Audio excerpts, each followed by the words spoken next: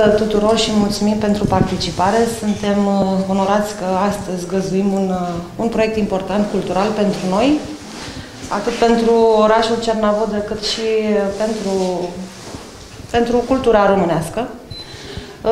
Suntem onorați să fim gazele unui, unui proiect foarte important, derulat și demarat, de fapt, chiar astăzi, de niște parteneri importanți. Aici vorbim despre Asociația Culturală Combat Stres din București. O avem aici alături pe doamna locotenent colonel Cornelia Prioteasa. Alături de, alături de mine este domnul viceprimar șerif Cărjali, care întotdeauna, pentru că așa este administrația locală din Cernavodă, este deschisă la proiecte culturale, este deschisă la uh, promovarea istoriei culturale locale, dar și naționale. Uh, aici, uh, aici în, muzeul, uh, în Muzeul de Istorie Axiopolis, am, am început să găzuim un proiect important. Vrem să comemorăm o personalitate foarte importantă pentru, pentru orașul Cernavodă și pentru, pentru România. Este vorba de inginerul constructor Angel, Angel Saligny. Suntem decât gazdele. Suntem onorați ca expoziția, o parte din expoziție să o avem aici. Bineînțeles, nu va fi pentru mult timp, pentru, mult, pentru scurt timp, uh, dar, uh, într-adevăr, noi uh, o să acordăm tot sprijinul pentru un proiect mai amplu și am avut discuție cu doamna Land Colonel și va, va avea sprijinul nostru, bineînțeles, pe cât este posibil. Și da, o să sprijinim și, într-adevăr, vrem să scoatem la, la suprafață pe constructorul inginer Angel Saligny. Uh, este o emblemă a orașului, ne mândrim și toată țara se mândrește cu, cu acest pod. Inginerul Angel Saligny și-a adus o contribuție deosebit de importantă asupra organizării interioare a activității în Academia Română. Și despre aceasta uh, stă mărturie o scrisoare pe care cei care vor vizita Biblioteca Academiei Române or, uh, pot să o găsească chiar uh, la cupola de sticlă. Este scrisoarea adresată de Ion Bianu lui Angel Salini. Acesta spunea, Prea stimate domnule Salini, în cei trei ani, 1907-1910, cât ați condus ca președinte al Academiei Române, ați făcut să se organizeze serviciile Academiei Române și să se asigure situațiunea funcționarilor care își dau cunoștințele și munca lor spre a ajuta această instituție să-și îndeplinească în alta menire. Regulamentul Fondului de Pensiuni, votat în 7 aprilie 1908, Regulamentul pentru serviciile Academiei, votat pe 23 mai 1909, sunt rodul stăruinței domniei voastre, ele dau siguranță viitorului pentru funcționari și familiile lor și prin aceasta le dau liniștea și prin aceasta le dau liniștea necesară unei munci rodnice. Funcționarii Academiei Române vă sunt adânc recunoscători și vă roagă, prea onorate domnule Salini, să binevoiți a primi ca semn văzut al recunoștinței noastre mica statuetă de bronz a Minervei, care este emblema Academiei noastre și de aceea vă va aduce aminte de legătura, de simțemintele care ne unește de domnia voastră, de noi, funcționarii acestei instituții. Chersaligny era tânăr. Făcuse practică mai pe, pe toate marile șantiere constructoare de poduri din, din, din Europa și venea aici pentru a construi un pod la care marile puteri, marile case nu se putuseră angaja. Construcția podului a implicat o serie de inovații la care o să se refere domnul uh, inginer uh, uh, uh, Mircea Dorobanțu, ce lapsus am iertare. Și uh, vreau să spun că cernavodenii trebuie să fie cu atât mai mândri, cu cât la inaugurarea, la punerea pietrei de temelie a podului, a venit uh, slujba de uh, slujba a fost făcută de preotul și unul dintre ctitorii învățământului uh, românesc în timpul Imperiului Otoman uh, este vorba de părintele Dimitrie Chirescu. Peste ani, la inaugurare, uh, își aducea aminte uh, uh, băiatul său, uh, de data asta militarul, Uh, Dimitrie Dechirescu, care uh, fusese rănit la Mărășești, ginerele lui Iorga din întâmplare își aducea aminte de evenimente.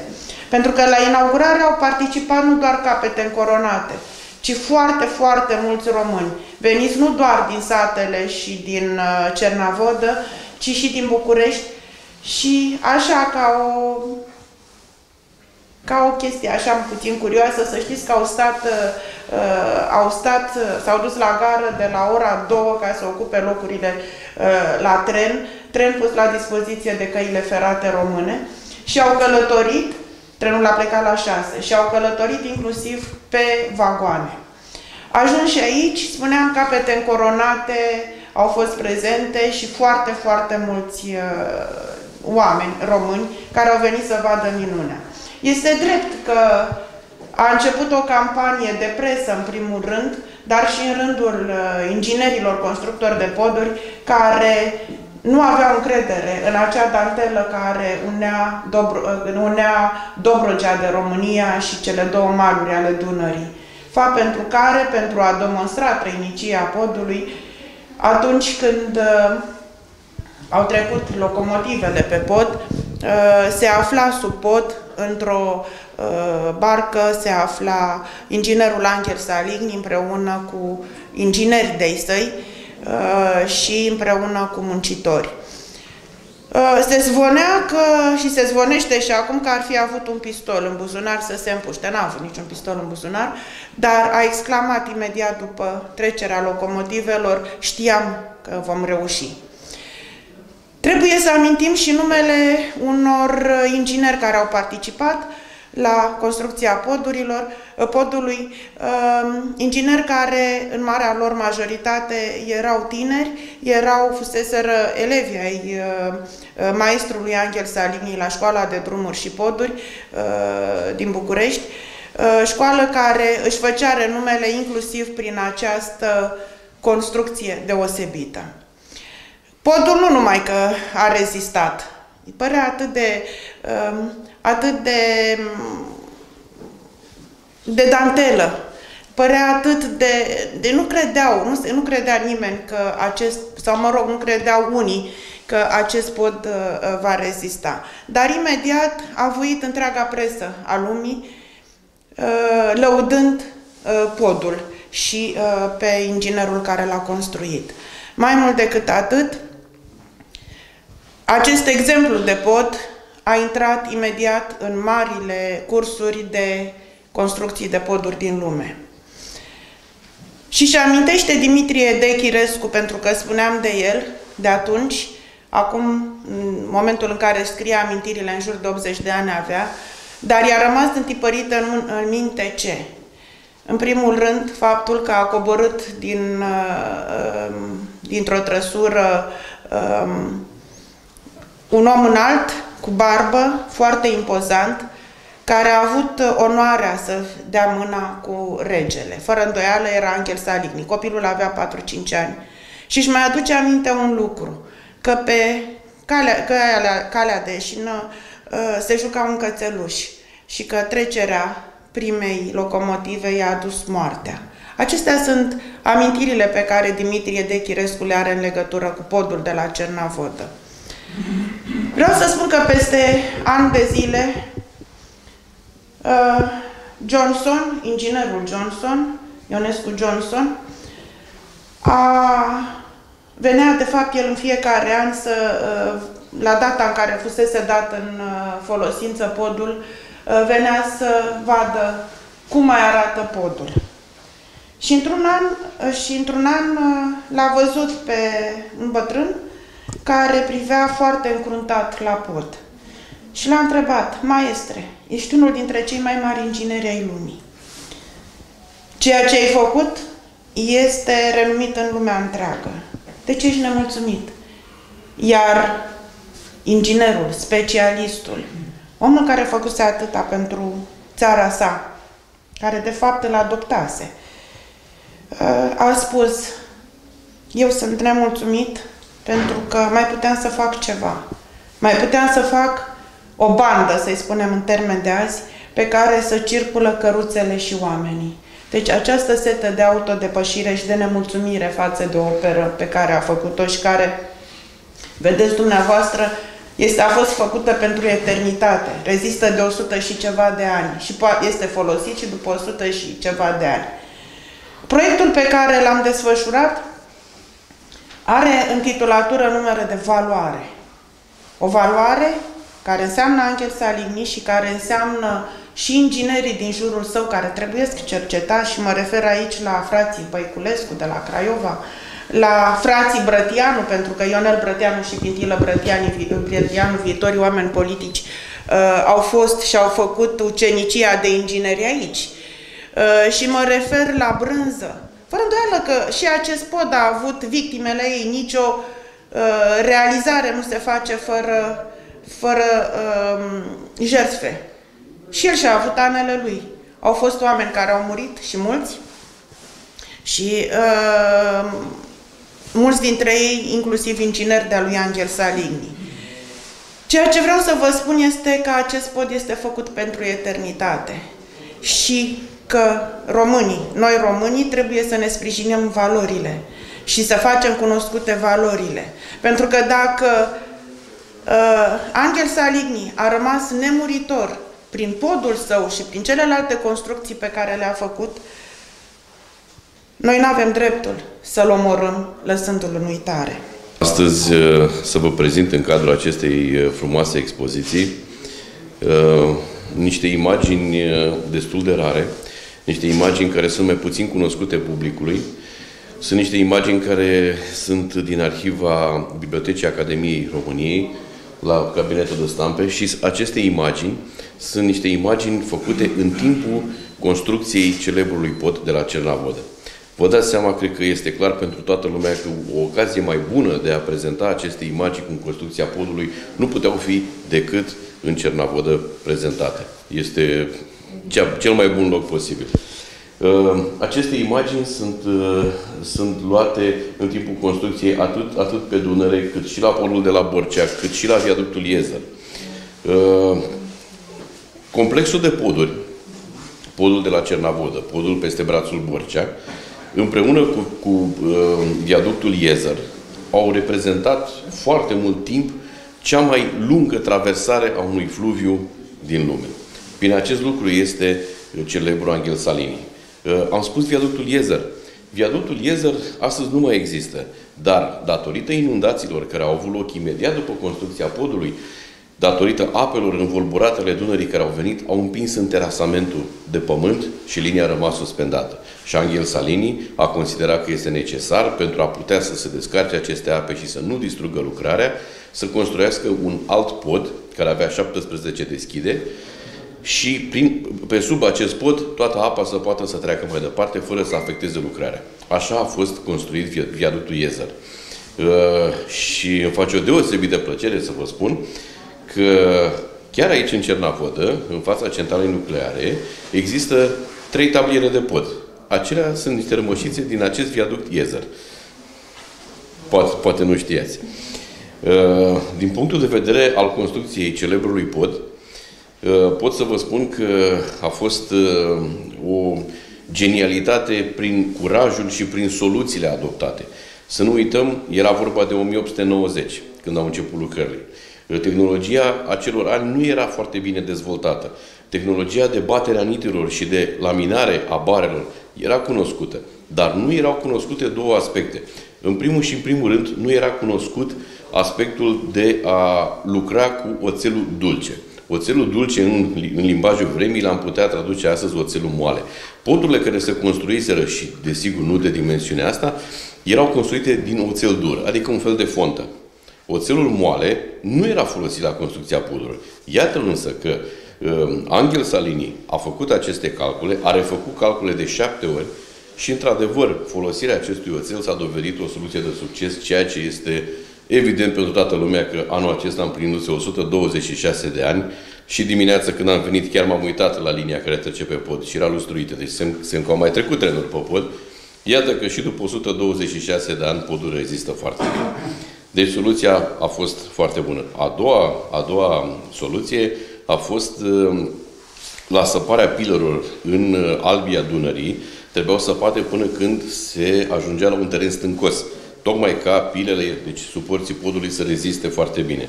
Și problema este că acolo erau uh, mari probleme cu respirația muncitorilor, pentru că era foarte mult bioxid de carbon. Și iată că au fost băgate niște compresoare pentru prima dată în România, tocmai ca să le poată oferi oxigen muncitorilor care lucrează acolo, pentru că ei depuneau muncă fizică, deci aveau nevoie de foarte mult aer. Erau mult sub nivelul Dunării. A fost pentru prima dată când s-a săpat atât de mult sub nivelul unui fluviu, fluviu care nu putea fi secat, să, aceea să înțelegem cu toții, este, este evident. Uh, ceea ce este iarăși foarte, foarte interesant este că acest pod a fost, uh, a fost gândit uh, să reziste foarte bine. Poate că mulți zic, domnule, asta este așa, o poveste. Nu este o poveste și să vă spun de ce nu este o poveste. În 1895, când a fost proiectat acest pod, el a fost proiectat să reziste la locomotivele care erau atunci. Dacă ne uităm în fotografii, dacă ne uităm în cărțile despre istoria locomotivelor, o să vedem că în acea perioadă erau niște locomotive foarte mici și foarte ușoare. Comparativ cu locomotivele care circulă pe acest pod în ziua de astăzi, nici nu se pune problema să facem vreo comparație din punctul de vedere al masei acestei locomotive. Iată însă că podul a rezistat și nu puțin. Uh, în plus, inginerii români, înainte să se apuce să construiască noul pod, cel, de, cel combinat pentru șosea și cale ferată, au fost nevoie să întărească acest pod și au mai fost montate niște grinzi între grinzile superioare și grinzile inferioare, tocmai pentru a-i mări rezistența. Dar podul și așa a rezistat și inginerii români au reușit chiar sub circulație să monteze aceste grinzi. Dovadă că podul și în ziua de astăzi rezistă foarte bine. Să dăm citire actului care avea să fie depus într-un mod spectaculos, în care cei prezenți aveau să se identifice cu nemurirea, când acest document avea să fie depus la piciorul podului, la începutul construcției. Să vedem ce au pus oamenii timpului, de la cel care era în frunte și era regele României, la cel care urma să se apuce de lucru efectiv sub conducerea șefului de lucrări, Angel Salini. Noi, Carol I, prin grația lui Dumnezeu și voința națională, rege a României, aducem la știința tuturor cele ce urmează. Războiul purtat în anii de la 1877 până la 1878 de viteijii României întinsa hotarele țării noastre peste țărmul drept al Dunării și făcuta regatul României stăpân la Marea Neagră, întrupându-i Dobrogea. De atunci, necontenit, ne-a fost gândirea la această provincie, însă mărețul Danubiu ne-a oprit și ne oprește să dăm litoralului Mării Negre și porturilor lui viața și dezvoltarea trebuincioasă pentru prosperitatea economică a țării. Numai construcțiunea unui pod peste Dunăre înlăturează aceste piedici. Corpurile noastre, legiuitoare, încălzite de focul nestins al iubirii de țară, au hotărât în anul 1883 clădirea acestui pod și noi am sancționat în același an patriotica lor hotărâre. Aci, inginerii români clădesc podul. nu vor trece decât câțiva ani și săvârșită va fi o grandioasă lucrare, un monument care va transmite urmașilor noștri și generațiilor viitoare dovadă de putere de viață, patriotismul și hărnicia României actuale. Fie ca această măreață lucrare să sporească prosperitatea și gloria scumpei țări, fie ca prin ea să se strângă legăturile care unesc Dobrogea de patria mumă, fie ca porturile să ajungă la o splendoare vrednică de solicitudinea ce le poartă țara. Prețuind așa valoarea podului peste Dunăre la Cernavodă, hotărât am să se așeze în prezența mea a principelui Ferdinand, moștenitorul prezuntiv al coroanei, a miniștilor care se află la cârma țării, piatra fundamentală în zidăria care formează cel din tâi picior al podului pe țărmul stâng al Dunărei. Acest document comemorativ s-a semnat de noi în două exemplare, care s-au investit cu sigilul statului. Un exemplar, însoțit de monetele curente, se va îngropa de noi în piatra fundamentală în ziua nouă a lunei octombrie anul 1190, de la nașterea Mântuitorului, în al 25-lea an al domniei noastre și în al 10-lea de la înființarea regatului României. Cel de-al doilea exemplar se va păstra în arhiva statului. Semnează Carol. Vă mulțumesc!